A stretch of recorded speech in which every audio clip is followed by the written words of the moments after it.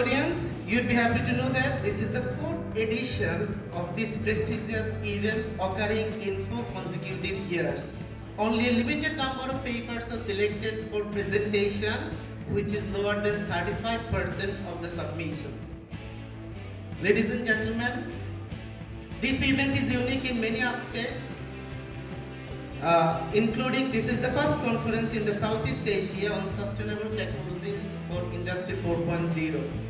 In addition, this is the only conference in Bangladesh which is technically co-sponsored by the Central IEEE Computer Society, USA.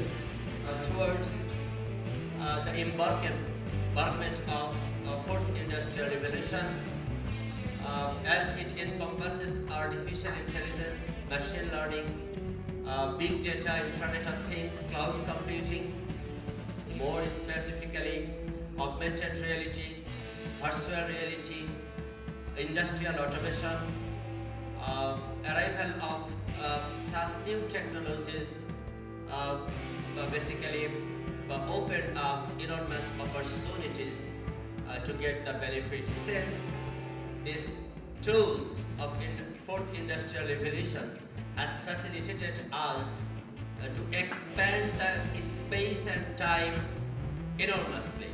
So uh, while we are living and what we are doing, uh, and with whom we are working um, has been redefined in the recent years. By date of this conference, the research article that will be published in the IEEE Xplore Green University will be put forward in case of ranking. By this great gathering, the academia persons, the academicians can exchange their views and ideas through visual discussion.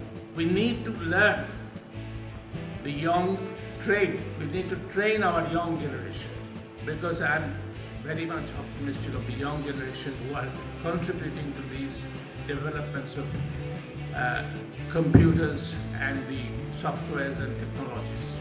In all these areas, perhaps more are coming in future to learn, to master and to innovate and come up with solutions for sustainable development. I would say that the present conference definitely is going to add more values in different aspects and the continuous progress of this conference definitely bringing a lot of uh, uh, new ideas.